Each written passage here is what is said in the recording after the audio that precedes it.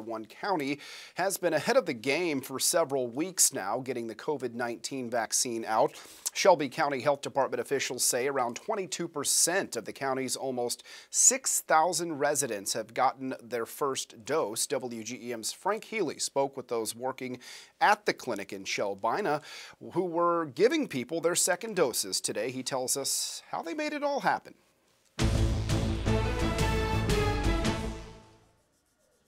Well, this is my second shot. Uh, today's process was pretty painless and, and short. Chris Coe, one of hundreds today getting their second dose of the Moderna vaccine in Shelbina, Missouri at St. Mary Catholic Church's Father Buman Center. His job as a park ranger is the reason he felt it's important to get the vaccine. To try to be safe uh, with my job as well there at Mark Twain Lake.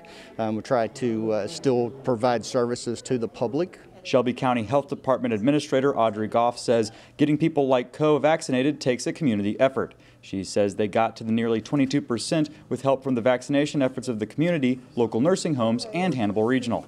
The three combinations has made it so that we have a high number of our population already getting their first dose of vaccine. Goff says moving forward, she hopes more and more people know someone who has gotten the vaccine, so more and more people become less apprehensive.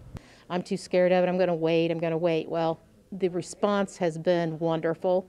We've been really appreciative of people listening to the science, listening to the medical people, and understanding what this means for the future. And Goff says another important aspect of that success is the facility itself here.